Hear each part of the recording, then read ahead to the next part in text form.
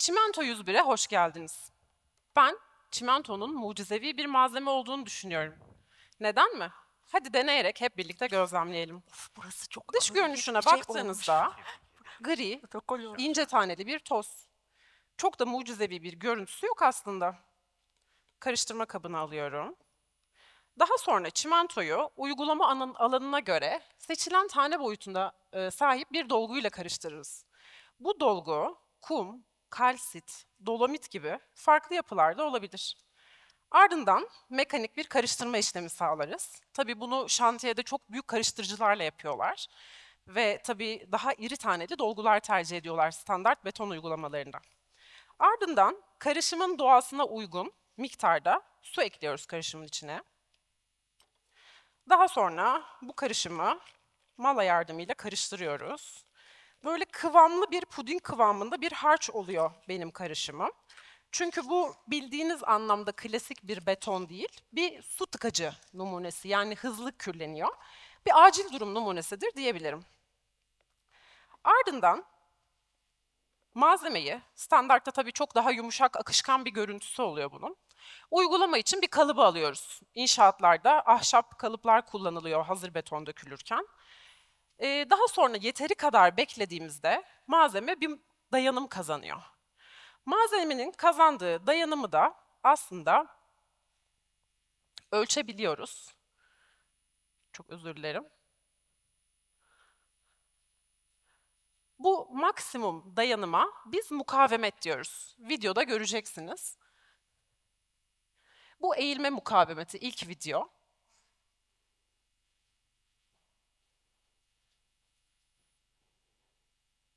Bu da basma mukavemeti. Böyle patlayarak kırılıyor. Benim elimdeki numune de yavaş yavaş kürlenmeye başladı. Denemek isteğiniz olursa paylaşabilirim. Hala biraz yapışkan. Egzotermik e, reaksiyonu devam ediyor, sıcaklığı yüksek. Videoda görmüş olduğunuz malzeme de standartlarla ölçüsü tanımlanan böyle bir kalıp. Nihayetinde bugün bildiğiniz beton yapıda olan her şey, köprüler, tüneller, barajlar, yollar, binalar hepsi bu mantaliteyle inşa ediliyor. İşte bu sıvı haldeki bir malzemenin bir kalıba koyulup şekillendirilebilmesi sonucu kazandığı müthiş mukavemetin mucizesidir. Ben Nevin Karamahmut Mermer, kimya mühendisiyim. Statik hesapları ve betonarme yapıları bilen bir inşaat mühendisi değilim. Yani farklı bir tarafından tanıyorum çimentoyu, kimya mühendisi olarak. Çimentonun, e, çimentoyu iyice anlayabilmek için kimyasını da bilmenin gerekli olduğunu düşünüyorum. Çünkü nihayetinde çimento reaktif bir malzeme ve suyla reaksiyon veriyor. Bu önemli. Çimento her ne kadar gri bir toz olarak gözlemleseniz de içinde farklı farklı fazlar barındırıyor. Bu fazların hem reaktü- e, reaktivitesi hem de reaksiyon sonunda kazandığı nihai mukavemetleri farklı. Yani dolayısıyla fazlar da önemli. Bir de fazların kendi içlerinde dağılımları var. Standartta 28 gün bekleriz mukavemet için demiştim. Benim malzemem şu anda taş oldu. Ortalama bir buçuk dakikada kürleniyor. Bu tamamen faz dağılımıyla sağladığımız bir özellik. Bu da önemli. Bir de çimento ile suyun reaksiyonundan bahsetmek isterim çok kısa. İki malzeme birbirleriyle reaksiyon veriyorlar. Bu iki malzemenin bir bağlanma problemleri yaşadığını hayal edin. Bir türlü bir araya gelip kürlenemediklerini, mesela çok yavaş ilerleyen bir ilişkileri var. Nasıl gökdelenler inşa edebiliriz bu senaryoda? Ya da inanılmaz hızlı iletişime geçtiklerini hayal edin. Daha beton mikserinden dökülürken orada katılaşıyor. Alın size bir sürü çevre kirliliği. Haliyle bütün bu totali bir kimya olarak değerlendirmenin doğru olduğunu düşünüyorum. O yüzden e, kendi çimentoyla tanışmamdan da çok minik bahsetmek istiyorum. Ben yüksek lisans öğrencisiyken hobi olarak dahil olduğum bir proje esnasında tanıdım çimentoyu. Bir gaz beton projesiydi. Tabii şimdi geriye dönüp baktığım zaman çok da tanıyamamışım diyorum aslında. Doktoramın ardından yapı kimyasallarında faaliyet gösteren bir firmada çalışmaya başladım. İşte o gün bugündür elim çimentodan çıkmıyor. E, hal böyleyken bize e, biraz size çimentodan bahsedeyim istiyorum. Çünkü nihayetinde kimi korkularınızdan arınmanıza yardımcı olabileceğimi hayal ediyorum. Şöyle milat öncesi tarihe doğru bir geçmişe gidelim hep birlikte. Çimentonun icadı tabii ki daha yakın tarihler ama çok eski kullanımları var. Kimi kil kalker gibi kimi kayaçları, volkanik kayaçları bu malzemeleri öğütüp suyla karıştırarak bağlayıcılık özelliğinden faydalanıp bazı kullanımlar yapmışlar. Örneğin milattan önce 10 binli yıllarda çeşitli ufak tefek çanak çömlekler yapmışlar. Ya da kendilerine inşa ettiği e, yaşam alanlarında orada tabii yığma taş teknolojisi kullanılıyor. Büyük büyük taşları dizerek yapıyorlar inşaatları. Bunların aralarını doldurmuşlar. Çimento vari bir malzemeyle ama henüz çimento değil. Tabii burada bu malzemeden, bu bağlayıcı mineral bağlayıcıdan beklediğimiz mukavemet öyle bugün beton ve çelikten beklediğimiz hadi kocaman gökdelenler inşa edelim kadar bir mukavemet değil. İşte rüzgardan az etkilenelim, tepemizden yağmur yağmasın kadar bir mukavemetten bahsediyorum. Ama nihayetinde bu malzemeler kullanılmış yüzyıllarca. Ne mutludur ki en eski örneği, yapı alanı olarak en eski örneği ülkemiz topraklarında bulunan Göbekli Tepe. Göbekli Tepe milattan önce 9500 yılında inşa edilmiş. Şu an dünyada bulunan en eski yerleşim merkezi. Tabii ki ilerleyen zamanlarda umuyoruz ki başka coğrafyalarda da daha daha eski kazılar, e, daha eski yerler keşfedilebilir. E, Göbekli Tepe'ye baktığımız zaman görselde görüyorsunuz üst üste taşlar yığılmış. Tabii bunu bir de toprağın e, altından kazarak çıkartıyorlar. Kimi kayıplar da var. Fakat taşların arasında bulunan bağlayıcı malzemelerin kil özellikle olduğu söyleniyor. Nihayetinde bu tarz uygulamalar, çimento öncesi uygulamalar Antik Mısır ve Roma dönemine kadar dayanıyor. Mesela e, Çin Seddi'nden bahsedebiliriz. E, Mısır piramitlerinden bahsedebiliriz. Çok özür diliyorum. Mısır piramitleri milattan önce 2600 yılında inşa edilmiş. Yine aynı teknolojiyi burada da görüyorsunuz. Ya da bir sonraki uygulaması Çin Seddi. Milattan önce 221 yılında inşa edilmiş. Bugün e, hala ayakta. Birazdan görseli gelecek göreceksiniz. Bu tabii yeni çekilmiş bir görsel. Haliyle teknoloji, malzeme teknolojisi geliştikçe kimi revizyonlar yapılmış yapıda. Nihayetinde kümülatif bir bilgi ilerleye ilerleye uzun zaman gelmiş. Şimdi gelelim çimentonun icadına. Sizce çimento kaç senedir hayatımızda olabilir? 1824 yılında İngiliz bir duvar ustası olan Joseph Aspid'in kil ve kalkeri ısıl işleme tabi tutarak bugün klinker olarak adlandırdığımız malzemeyi keşfediyor.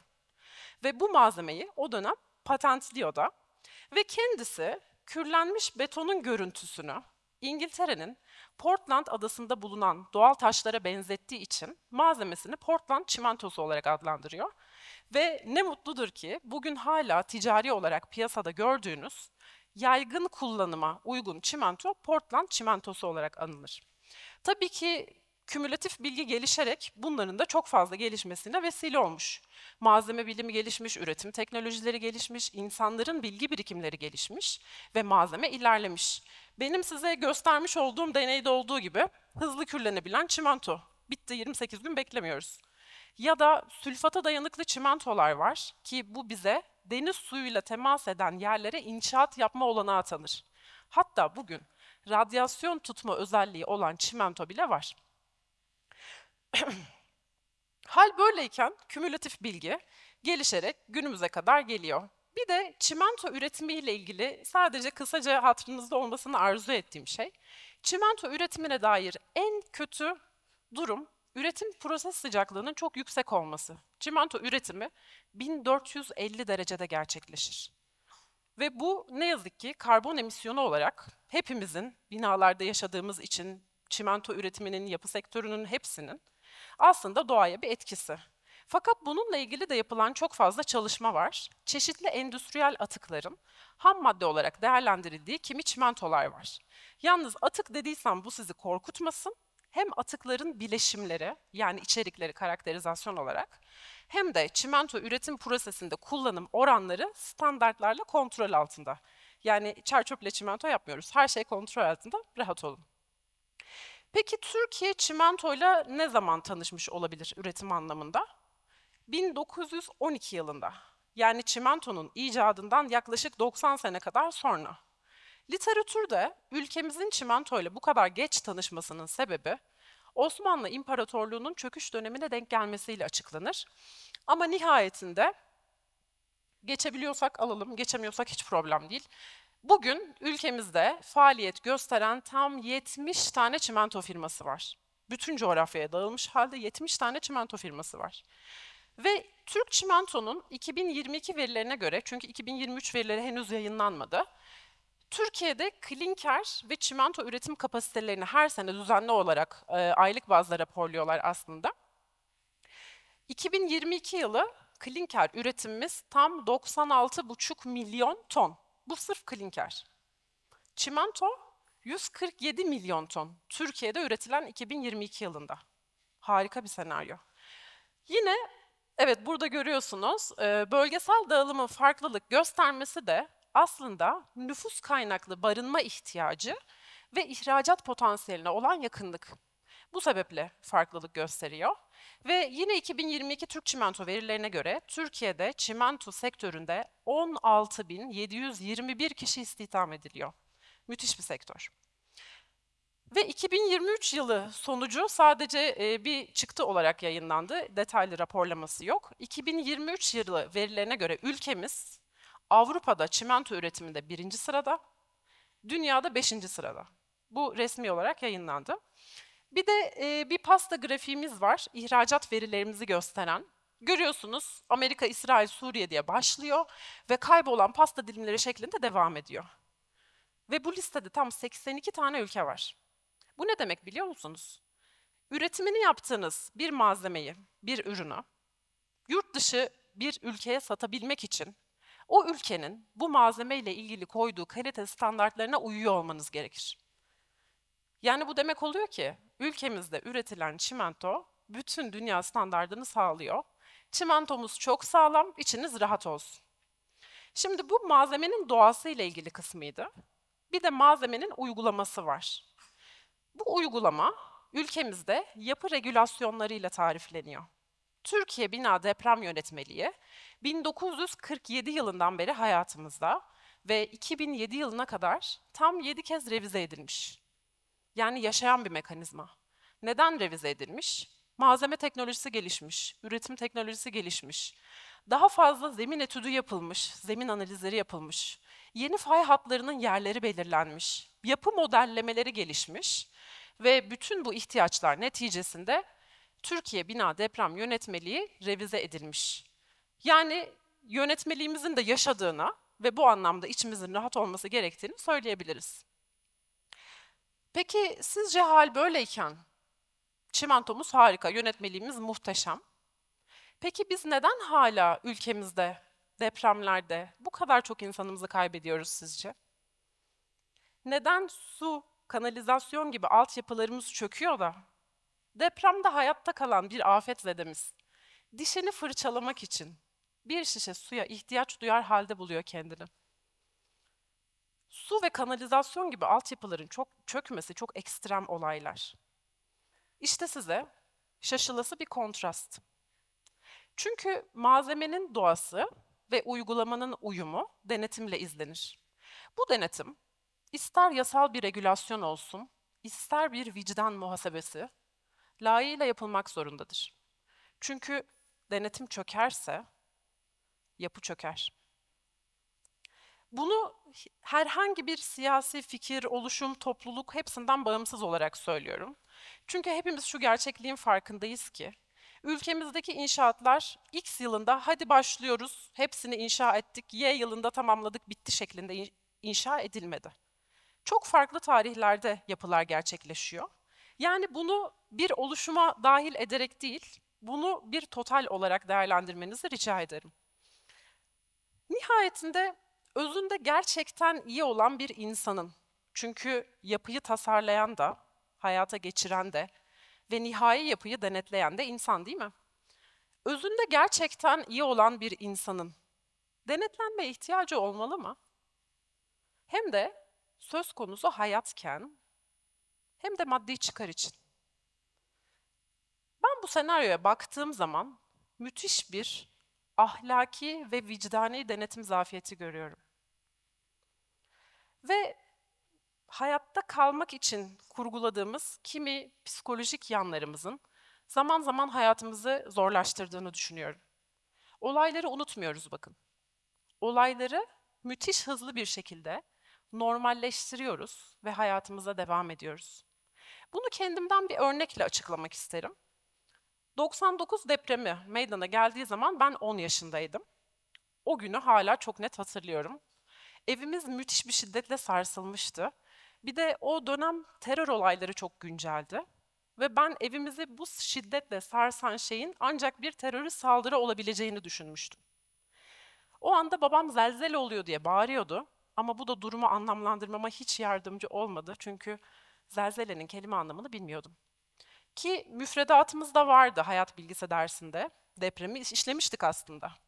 Ama ben şahsım adına içselleştirememişim demek.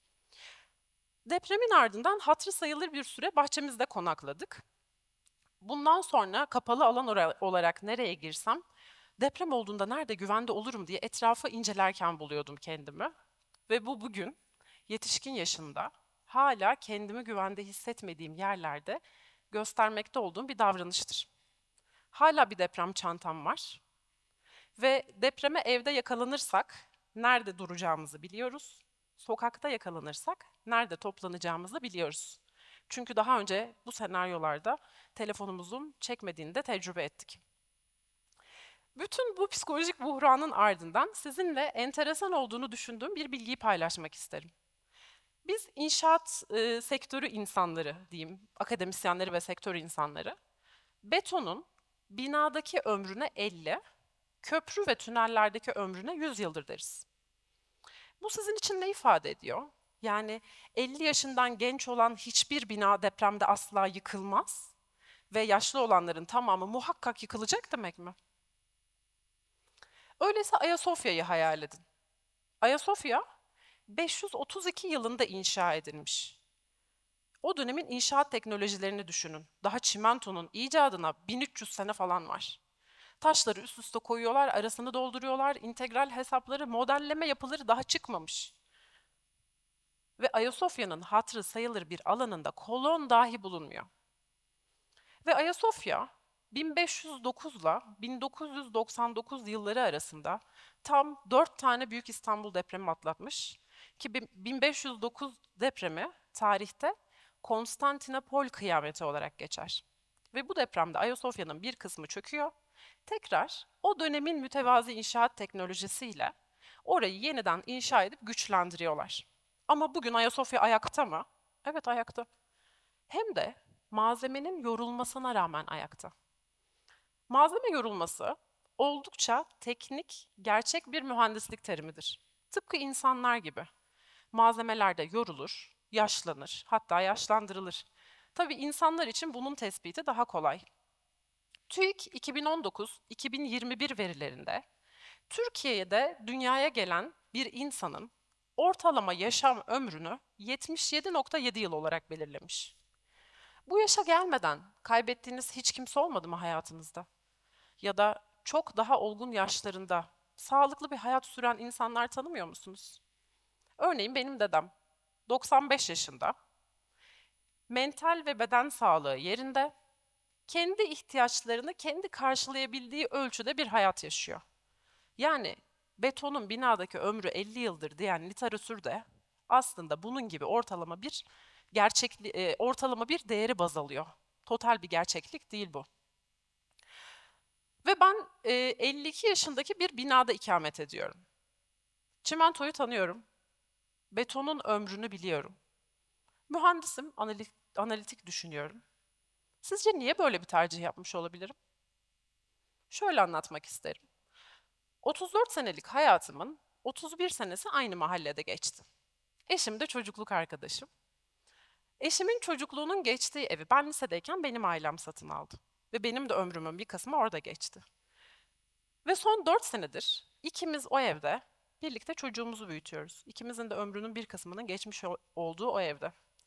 Çok enteresan bir konforu ve huzuru var bu durumun. Değil mahalledeki esnafı, sokakta yürüyen insanların bile bir kısmını tanıyorum.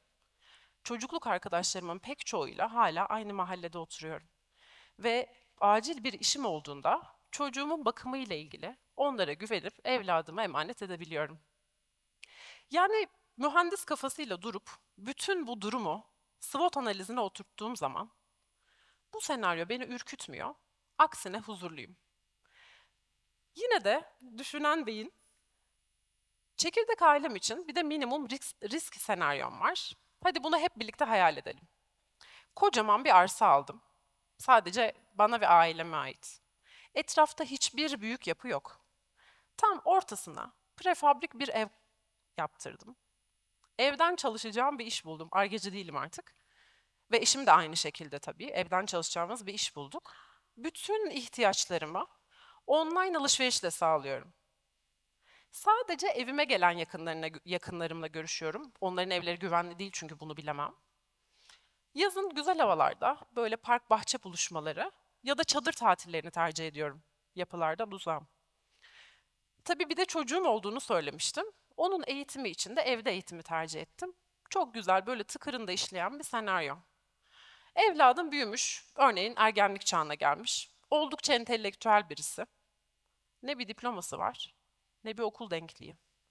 E benim bu çocuğun hayatını sağlama alacak yatırımı da planlamış olmam lazım. Ve tüm bu yatırımların depremden etkilenmeyecek özelliklerle tasarlanmış olması lazım.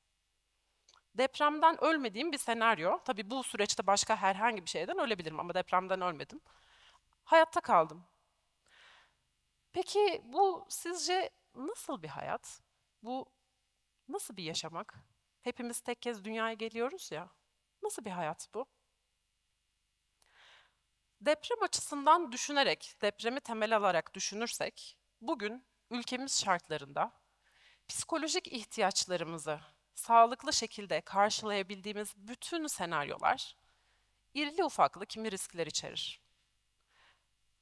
İstanbul Bakırköy'de ikamet etmekte olduğum 52 senelik binayı kentsel dönüşümle revize ettirebilmeyi başarsam, avcılardaki iş yerimi ne yapacağım?